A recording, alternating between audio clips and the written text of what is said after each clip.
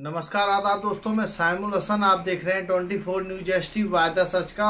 और जिस तरीके से कल कस्बा करहल में बुलडोजर की कार्रवाई हुई, उसको लेकर आज पूर्व सांसद तेज प्रताप यादव का बयान आया है। और उन्होंने यह बयान पत्रकारों को चेयरमैन चौधरी अब्दुल नईम की आवाज़ पर दिया। उन्होंने साफ़ साफ़ कहा, उपचुनाव करीब है, इसको लेकर सरकार जो है, सब समाजवादी पार्टी के कार्यकर्ताओं को दबाना चाहती है, भय फैलाना चाहती है और जिस तरीके से कार्रवाई हुई कल, क्योंकि जो प्रशासन द्वारा जो मैरिज होम अवैध घोषित करा गया और पाँच पाँच बुलडोजर आए और उन बुलडोजरों ने जो मैरिज होम को, जो दो मंजिला मैरिज होम है, उसको दमीजोत कर दिया जिस तरीके से इसको लेकर तेज प्रताप यादव ने साफ़ साफ़ कहा। जो चेयरमैन चौधरी अब्दुल नईम के पास पूरे कागज़ हैं, उसके, उनका बैनामा भी है। उसके बावजूद भी कार्रवाई की गई है। यह द्वेषपूर्ण कार्रवाई है, द्वेष भावना से कार्रवाई करी गई है और चुनाव में जिस तरीके से उपचुनाव आने वाला है, उसको लेकर भी उन्होंने बयान दिया है और क्या कुछ कहा है, उसको आप लोग सुनिएगा। बदले की भावना से सरकार की कार्रवाई है और पूरा पेपर वर्क उनके पास है मैदान उन्होंने कराया स्टाम्प ड्यूटी अदा किया स्टाम्प ड्यूटी अदा की।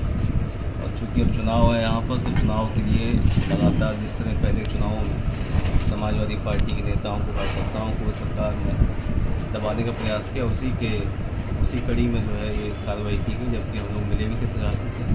कागज़ भी सारे प्रस्तुत किए, उसमें हाई कोर्ट का स्टे भी था उसके बावजूद जो है भावनापूर्ण तरीके से कार्रवाई की गई ताकि चुनाव में इसका असर देखे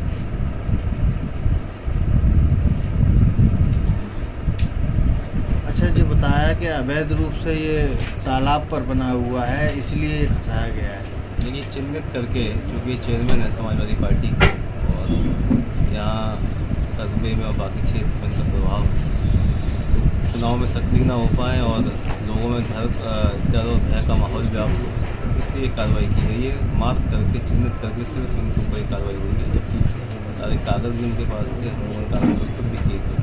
लेकिन उसके बाद प्रशासन ने एक बात नहीं सुनी और स्टे होने के बावजूद जो है कार्रवाई की। अच्छा जिस तरीके से सांसद जी कल जो फोर्स आया लगभग लगभग 200 से ऊपर 500 500 से ऊपर जो फोर्स पीएसी और पुलिस बल और चारों तरफ़ से रास्ते बंद कर दिए गए और लोगों की कुंडियाँ बंद कर दी गई हैं। इस पर क्या कहेंगे आप?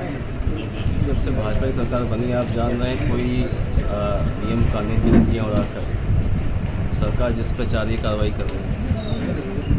केस केवल यहाँ नहीं कई शहरों में कई ज़िलों में तमाम केस ऐसे आए जहाँ प्रशासन ने राजनीतिक द्वेष में राजनीतिक विरोधियों के यहाँ इस तरह कार्रवाई की और यहाँ भी इसी तरीके से की गई, चूँकि यहाँ चुनाव भी होना है, मैंने पहले भी कहा चुनाव में प्रभावित करने के लिए और इसी तरीके से मनोबल टूट जाए कार्यकर्ताओं का, इसके तहत ही कार्य अच्छा जो शिकायतकर्ता हैं, पूर्व चेयरमैन संजीव यादव, उन्होंने शिकायत करी थी दो साल पहले।